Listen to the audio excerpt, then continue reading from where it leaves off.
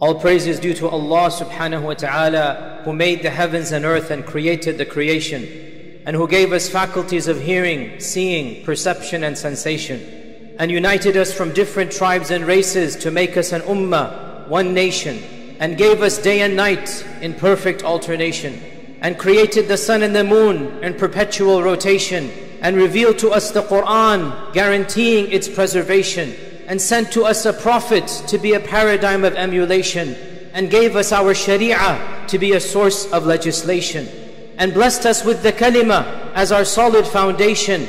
He is the King of kings on the day of judgment and resurrection. May He send salat and salam upon our Prophet sallallahu alaihi wasallam, the owner of the praiseworthy station. Glory be to Him for all that is in the heavens and earth bows to Him in prostration.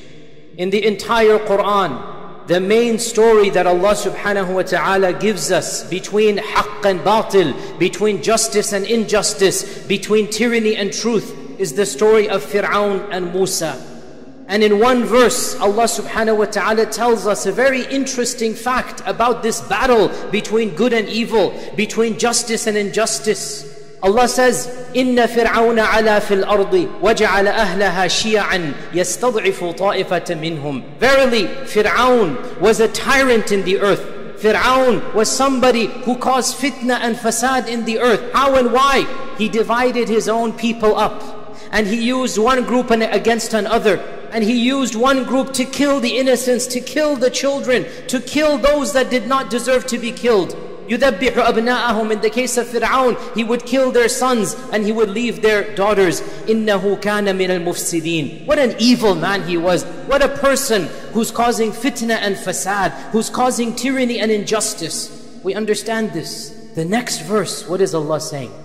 وَنُرِيدُ أَن نَمُنَّ عَلَى الَّذِينَ اسْتُضْعِفُوا And we wanted to bless those that were being persecuted. Notice, these people are being killed. And Allah is saying, we had a plan. We had a reason why we did what we did. We wanted to give manna. نريد أن نمن على الذين استضعفوا. We had a plan that those people who were being persecuted, we wanted to change the paradigm. And we wanted to make them the ones in charge. And we wanted to bless them. وَجَعَلَهُمْ أَئِمَّةً فِي الْأَرْضِ And we wanted to make them the leaders in the earth after they were being persecuted. And Allah subhanahu wa ta'ala mentions, and we wanted to show Fir'aun wa Haman wa junudahum minhum ma kanu yahdharun. We wanted to show Fir'aun and all of his armies that that which they feared the most was actually true and that they would be punished at the hands of the people they were being persecuted. This story is of course about Musa alayhi salam. And of course we saw the end of Fir'aun and we saw what happened to the followers of Musa. And in this story there is wisdom for us for every single persecution, for every single tyranny, for every single injustice taking place. These days we are witnessing yet another rise of injustice. It is not the first in our lifetimes, in all likelihood it will not be the last. But we see the rise of another fascist ideology, an ideology that is Fir'aunic, pharaonic in its essence. An ideology that separates people based upon their race as Fir'aun did. This is exactly in the Quran. جَعَلَهُمْ شِيَعًا He separated them up based upon their skin color, based upon their origin. This was Fir'aunic. And it is exactly what we see now in that land of India, that ancient land, a land that many of us in this audience have biological ties with, a land that is one of the bastions of human civilization, a land that has so much history in it, and yet we now see the rise of a new strand, a strand of intolerance, of bigotry, of injustice, a strand of an ideology that is preaching the purity of one race and one people over another. And this is not humanity. This is not common sense and reason and logic. This is the essence of fascism. And the person that is in charge of this is following a methodology that inspired Fir'aun. This party in India, as we are aware, it is the same methodology that inspired Nazism. If you are not aware, you should learn this. The same ideology, its parent organization back in the 1920s was literally the ideology, not an exaggeration, that inspired the version of Hitler. And that is why Hitler took the swastika, which is an Indian symbol. He took it because it came from this ideology. And we see this ideology manifested in multiple movements across this globe. And I want everyone to be aware of three such movements. There are three primary movements that are having a similar ideology, and it is terrifying to see that they are on the rise. The first of them, which is what is going on in India, is the Hindutva, which is a radical strand of Hinduism. This is not mainstream Hinduism. Hindutva is a strand of Hinduism that says this land is only for one nation, one group, one ideology, and that is those who follow their version of Hinduism. By the way, their version, this same strand was the strand that assassinated Gandhi back when Gandhi was viewed to be the paragon of peace. They were the ones who assassinated Gandhi because they viewed Gandhi as being a betrayer, a traitor. Even though Gandhi was not a Muslim, he was a Hindu. But the version of Hinduism that he followed was not a version that the Hindutva liked. So that version is preaching one ideology supreme over all others. This is the first I want us to be aware of. Number two, it is, of course, one of the versions of, of this fascism understanding that we've been familiar with for the last 70 years, and that is, of course, the ideology of Zionism, which says that there's one race, one group for that land, and anyone who's not from that land does not belong there, even if they've been there for 2,000 years. Hence, somebody born into that version of an understanding, even if they're born in Europe or in America, they get automatic citizenship. And the people that are in that land, the Palestinians and others, whether they're Christian, whether they're Muslim, it doesn't matter. But because they're not a part of that ideology, they don't belong there. And the third strand is one that is right here, and that is white nationalism. And this is something we are seeing right now. This version of this fascism ideology where they want to shut down the borders, they're harping on immigration, they're banning Muslims and others from coming here. This white nationalism is linked to Hindutva and it is linked to Zionism. So don't be surprised when the leaders of all of these movements are shaking hands and cozying up because it is the same ideology, even though ironically, every ideology would not tolerate the others in their own land. Ironically, the ideologies that are finding comfort and support at the dinner table in international festivals would not be comfortable eating dinner in the local neighborhoods that they live in because each one of them views the others as being false. But these ideologies all preach the same version of bigotry and hatred that Fir'aun preached over 4,000 years ago. جعل أهله شيعا He divided his own people up into various races يستضعف طائفة منهم One group would be the underguard One group would be always killed, always massacred One group would be the scapegoat And the other group would be considered the dominant They're the ones who are blaming everything on the other And they're going and killing the other And this is exactly what we are seeing in the land of India this The injustices in Palestine over 70 years And unfortunately in this land as well Even though it's not that bad physically but still, ideologically, this strand is on the rise. And dear Muslims, truth be told, the situation appears to be getting from bad to worse across this globe. Truth be told, subhanAllah, as the years go on, it seems as if things are happening. And those who study history, we are at a time frame now which is very similar to 1915 before World War I. We ask Allah salam and afiyah. But the point is that we cannot be blind. We cannot shut our eyes. We cannot just ignore what is going on. Where this is happening, those people never thought it would happen. They never thought they would see the day where their own neighbors would come in and gang up on them, where their own peoples would would come in the capital of this land of India, Delhi, which is supposed to be a bastion of civilization. It's supposed to be a land where there are police, there's government. This isn't some rural village.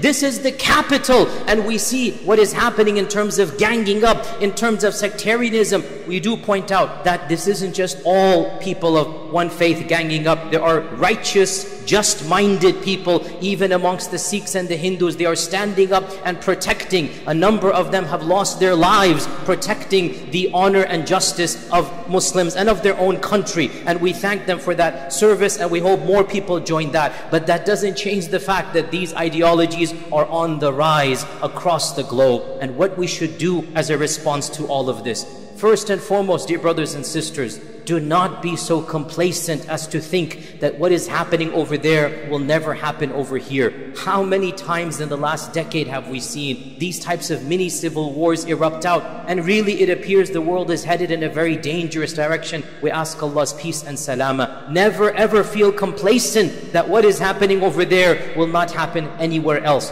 Always turn to Allah for dua. Seek refuge in Allah from fitan. Our Prophet ﷺ said, Ta'awwadu billahi min al-fitan. Seek refuge in Allah from all types of fitan. What is a fitan? A fitan is a civil war. A fitan is a disaster. A fitan is groups ganging up upon each other. Uh, the Prophet ﷺ is reminding us as a part of our rituals, we should regularly seek refuge in Allah from all types of fitan. And our Prophet ﷺ taught us a dua that, Oh Allah, if there's going to be a fitna, then allow me to return to you before that fitna comes amongst us. That إِذَا أَرَدْتَ بِعِبَادِكَ فِتْنَةً فَقْبِدْنِ إِلَيْكَ غَيْرَ مَفْتُونَ To be in a fitna is a very dangerous thing. We don't want to be in a time of civil war and strife. It's a very dangerous thing. So we seek refuge in Allah subhanahu wa ta'ala. We turn to Allah Azza wa Jal and we ask for Allah Azza wa Jal's protection. The second point of advice that we need to remind ourselves is that what is the purpose of a fitna. Why does Allah Azza wa Jal send down these fitan? Allah tells us in the Quran,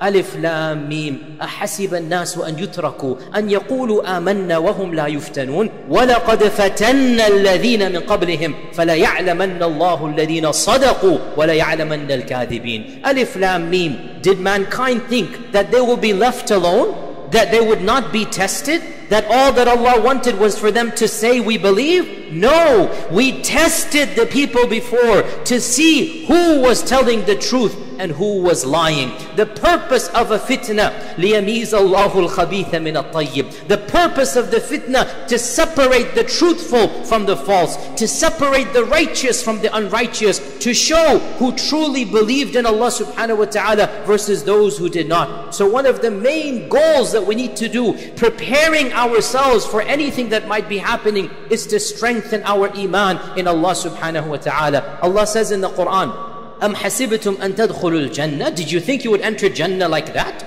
Do you think Jannah was for free? That all you needed to do was live a comfortable life and that's it? أم حسبتم أن تدخلوا الجنة ولما يعلم الله And Allah has not yet tested and seen. Allah has not yet seen amongst you those who are true versus those who are not. And Allah subhanahu wa ta'ala mentions in the Quran, did you think you will enter Jannah and you don't know of the stories of those before you? مَسَّتْهُمُ الْبَأْسَاءُ وَالضَّرَّاءُ They were rocked to the core from trials and tribulations. Ba'sa and darra. And ba'sa is civil war. And darra is pain and anguish and suffering and personal calamities. So Allah is saying, the people before you, they tasted blood. The people before you, they had to see civil war. The people before you, they underwent trials of famines and plagues. مَسَّتْهُمُ الْبَأْسَاءُ وَالضَّرَّاءُ وَزُلْزِلُوا They were shaken to the core. حَتَّى يَقُولَ الرَّسُولَ وَالَّذِينَ آمَنُوا مَعَهُ مَتَى نَصْرُ اللَّهِ Until even the prophets and even the believers, they were wondering, where is the help of Allah? For how long will we remain in this manner? And then Allah Azza wa Jal says, أَلَا إِنَّ نَصْرَ اللَّهِ قَرِيبٌ Verily, the promise of Allah and help of Allah is close. Allah is reminding us that Jannah is not for free. Jannah is a high price. And you want the highest levels of Jannah, you have to pay a high price. And that price is what? Is to demonstrate to Allah that you are firm, you have sabr, you have iman. How can you demonstrate when there is nothing to show that sabr and to manifest that iman against? We don't want to be tested, dear Muslims. We don't want to be tested. But if the test comes, we have to know how to pass the test. We ask Allah for His protection. We ask Allah that, oh Allah, remove any test from us. But if the test comes down, this means Allah has chosen us to raise our ranks. Because those who are tested and pass the test will have a much higher place than those who are not tested. And this is the beauty of our faith. Our Prophet ﷺ said, لا تتمنوا لقاء العدو Don't desire to meet the enemy. Don't desire to be foolish and say, I can do it. You don't know what you can do when you are faced with these calamities. You don't know how strong your iman will be when these issues come. Don't be foolish and say, I can do it. No. لا تتمنوا لقاء العدو Don't desire to meet the enemy. But if the enemy comes and you are there, then uthbutu, be firm and be patient. This is our philosophy. This is our ideology. We do not want to be tested. We ask Allah's protection. We ask Allah to protect ourselves and our families, but we need to be prepared. And in case we are tested,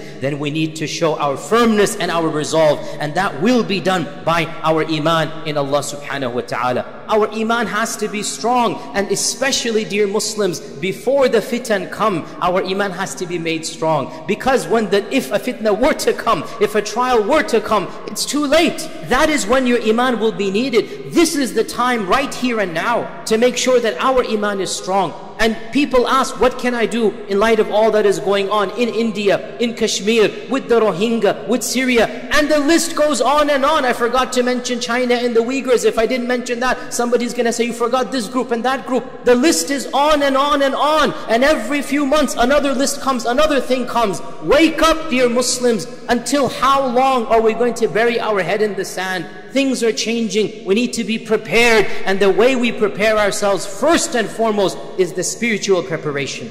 We need to have our iman strong in Allah subhanahu wa ta'ala. Our Prophet sallallahu alayhi wasallam said regarding fitan that I see fitan falling upon you like, like raindrops. And then he said in the same hadith, whoever wants to be saved from the fire of hell and enter Jannah, let death come to him and his iman is strong in Allah subhanahu wa ta'ala. You see, the tragedies of this dunya are indeed painful. Wallahi, every video we see, every picture, our heart bleeds. But those people who were patient and they died that manner, we will be jealous of their maqam on judgment day. We will be jealous of what Allah has blessed them with. And this is not a defeatist attitude. No doubt when a person's physical life is in danger, they will respond back. I'm not telling them to take that. But still, those who pass away, those who die, that death of shahada, they will have a reward with Allah subhanahu wa ta'ala ta'ala. The point is, before that time comes, we can't just sit and ignore. We cannot just pretend as if nothing is happening. And most importantly, we cannot maintain status quo in our laziness with Islam. We cannot maintain status quo with our salah, our zakah, our rituals. The least that we can do is have our heart feel the pain around the globe and then channel that pain to better our own lives, to be better people where we are, to take advantage of the freedoms we have for as long as we have them,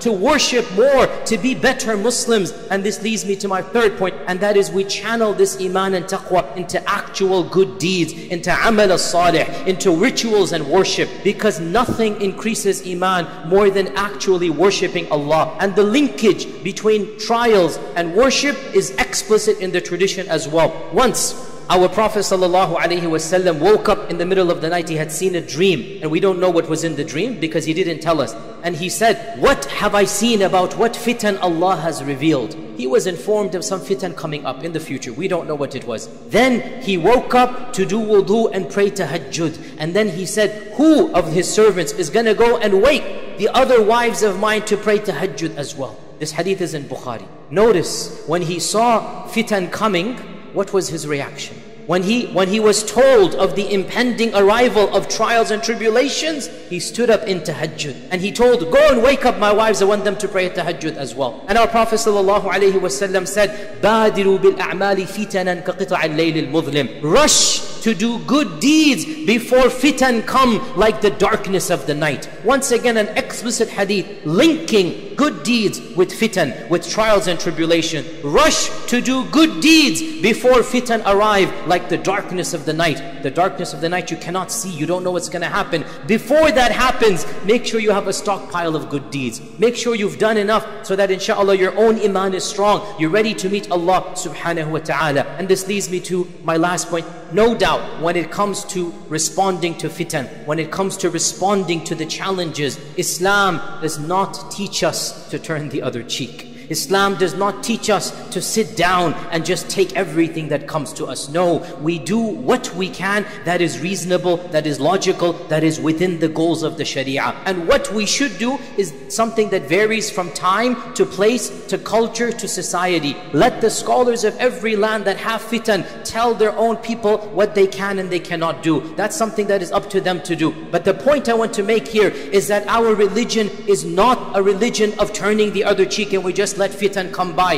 No, where we have to, we will do what needs to be done. And even if we die in the process, our Prophet ﷺ said, the one who dies defending his honor and the honor of his wife and child, that person is a shaheed. The one who dies defending his family and his property, that person is a shaheed. The purpose of me saying this is very clear. Some people, they say, all we should do is spiritual stuff. Go to the masjid more, worship Allah more. And I am saying that is not the seerah, that is not the sunnah. That is step number one. You make your relationship with Allah strong. No question about it. Step number one, iman, amal, dua, isti'adah. Step number one, you and Allah make that firm. Step number two, do something pragmatic and realistic do something. Our Prophet ﷺ didn't just sit back and do nothing. In Mecca, in Medina, when doing the hijrah, every single step that he did, there was preparation, there was planning. He actually did something. He took the precautions necessary. He didn't just walk up foolishly and say, Allah will protect me. Allah will protect you if you deserve to be protected. Allah Azza wa Jal will bless you when you take the necessary means. Now, what are the necessary means? As I said, that varies from time to place to society to person person. We have to preach, we have to talk, we have to educate, we have to spread awareness, we have to form alliances with those who are on the same wavelength as us,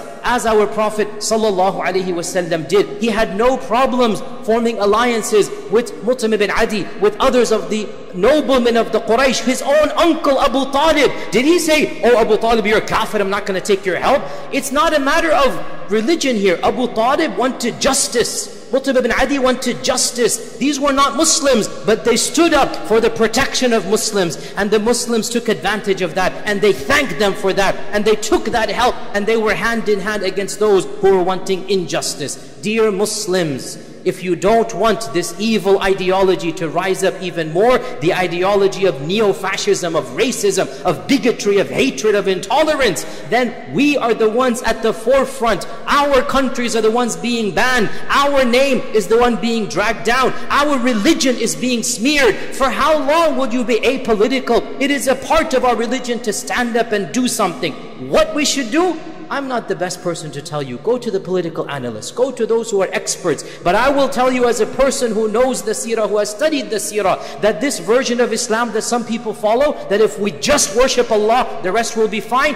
That version of Islam is not the version that our Prophet himself followed in his own seerah. That's not how we are Muslims. You don't just sit back and let the Hindutva come and do what they want. You have to do something, whatever you can. If you are not successful, the movements that you spark might be successful later on. You can't just sit back and ignore. So dear Muslims, we see what is going on in this world today. We cannot be, I don't want to use the word pacifist, that's a bit too harsh, but we cannot just ignore what is going on. We cannot be neutral is a better word. We cannot be politically obtuse. We have to be a little bit more sophisticated and understand that in the seerah of our Prophet sallallahu alaihi wasallam, iman and amal go hand in hand. Trust in Allah and then being proactive in society. This is something that we should be doing. May Allah subhanahu wa ta'ala protect ourselves and our children from all evil. May Allah azza wa bless me and you with and through the Quran. And may He make us of those who His verses they understand and implement His halal and haram throughout their lifespan. I ask Allah's forgiveness. You as well ask Him. He is the Ghafoor and the Rahman.